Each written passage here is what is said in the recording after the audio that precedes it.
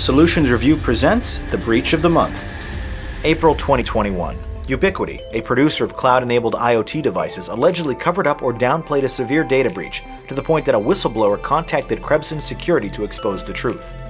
Facebook once again suffered from the consequences of their data scraping habits, with data from over 533 million users posted to a hacking forum. An insurance company, Geico, filed a disclosure with the Attorney General of California for a breach exposing an unknown number of driver's license numbers.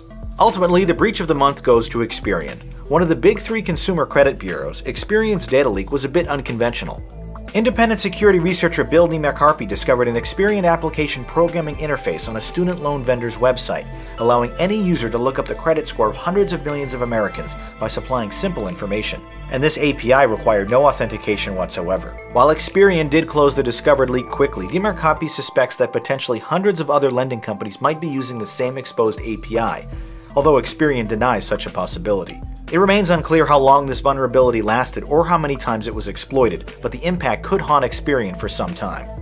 Your business needs to ensure it securely maintains its own databases and authentication protocols, while keeping a close eye on what third party partners can or can't access. If you'd like more information on this topic, click the link below to download our free Cybersecurity Buyer's Guide, available exclusively at solutionsreview.com.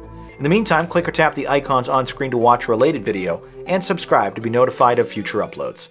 My name is Jonathan Paula. Thanks for watching.